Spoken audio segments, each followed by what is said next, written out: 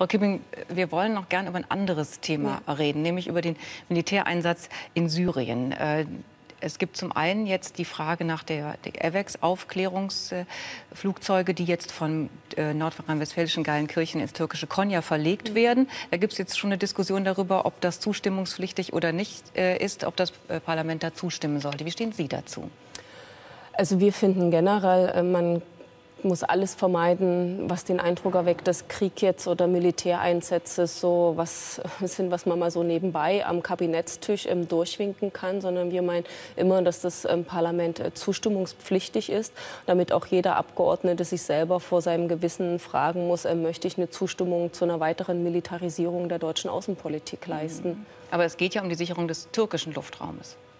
Und wenn wir jetzt über die Türkei reden, können wir mal in, in inhaltlich reingehen in die Frage. Also es ist ja eh höchst fragwürdig, die Politik, die gerade in der Türkei betrieben wird. Also der Präsident Erdogan ähm, führt ja einen Bürgerkrieg im eigenen Lande. Mhm. Ähm, das ist natürlich, aber, aber ne, darüber müssen wir ja. reden, weil damit, weil der Warum wird denn jetzt nach diesem Einsatz gerufen? Weil die Türkei ein NATO-Bündnispartner ist. Aber die Türkei verstößt ähm, selbst gegen die Regeln de, der NATO. Ähm, denn Waffen, die sie geliefert bekommen haben zur Landesverteidigung, wenden sie gegen die eigene Bevölkerung an. Also im Südosten wird ein Bürgerkrieg geführt gegen Kurdinnen und Kurden. Da werden nicht nur Kämpfer erschossen, jetzt ist auch in den letzten Tagen ein Großvater mit seiner Enkelin äh, von den Erdogan-Truppen äh, getötet worden. Und deswegen okay, haben wir gefordert, ein Waffenembargo gegen die Türkei okay. zu verhängen. Und noch eine konkrete Frage. Ihre Partei Parteikollegin und äh, Fraktionsvorsitzende Sarah Wagenknecht hat den Militäreinsatz der Bundeswehr in Syrien verglichen mit den Terroranschlägen in Paris. Sie hat gesagt, das eine ist individueller, das andere staatlich verantworteter Terror.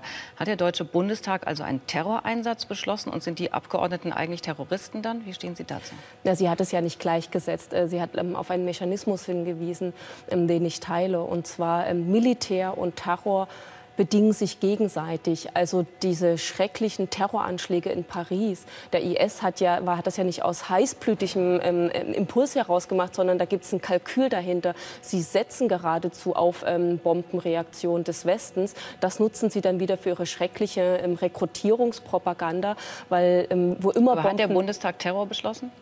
Der Bundestag hat sich für einen Militärschlag entschieden und dieser Militärschlag wird Terrorbanden weitere äh, Mitstreiter und Mitkämpfer in die Hände treiben. Und insofern ist es falsch. Ich bin dafür, Terror energisch zu bekämpfen, aber Terror bekämpft man nicht mit Bomben. Vielen Dank, Frau Kipping. Das war's.